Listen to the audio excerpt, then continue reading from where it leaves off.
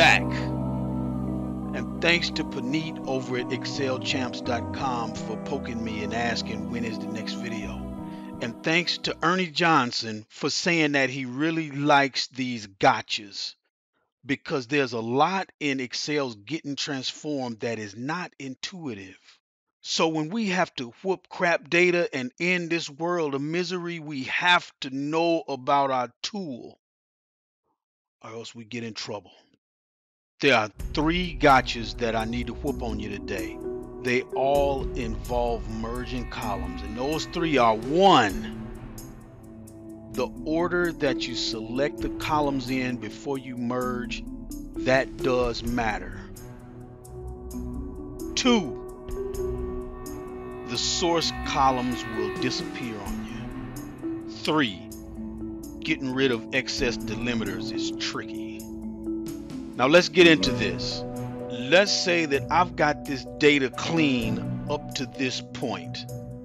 And now I would like this data in flooring, square feet, bedrooms, and bathrooms slid over so that it all is next to the apartment column. And I don't need to keep these headers. I just want the data slid over, fill in the gaps where these nulls are. Here we are at this point. Bedrooms is highlighted. I'm going to hold down control. I'm going to hit flooring, square foot, bathrooms. Transform. Merge columns. What do I want as my separator? I want a comma. Let's call it detail. Okay, we've got problems. First, yes, you notice that the source columns are gone. If we needed those columns, we've got to do something else. We can duplicate columns. The other problem that we've got is out of order. Notice that bedrooms is first and then the flooring. Let's go back to the source Look at that. Because bedrooms was highlighted, and then I clicked flooring, square feet, and then bathrooms, that's what happened when it merged. That can be handy or that can be a problem, but you need to be aware of this. Let's go back now, merge them again, hold down the shift key,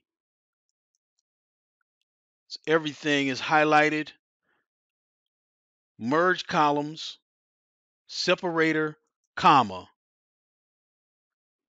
detail. Okay. Now, look at these delimiters. I've got this comma out front, two commas here, three commas here. I'm going to show you a trick how to deal with this. Let's delete this step. Highlight flooring. Hold down the shift key. Highlight bathrooms. Now I'm going to replace values. Move this out of the way. Value to find, null. Now I'm going to replace it with something that would not be in the data set ever. I'm going to add a caret symbol. Okay. The next move is to merge these columns. They're already highlighted, merge columns. Separator, comma, call this detail. Okay, now to get rid of these caret symbols and these commas,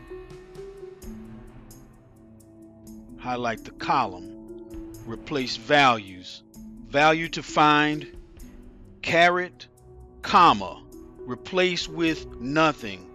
Okay. Replace values. Value to find, comma, caret, replace with nothing. Okay. Replace values. Value to find, caret, replace with nothing.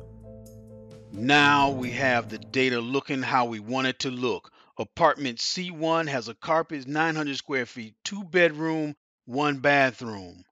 F9, we have no data about. F2, we only know that it's a studio.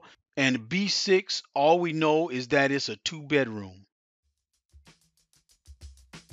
Let me show you in native Excel how we could have handled this.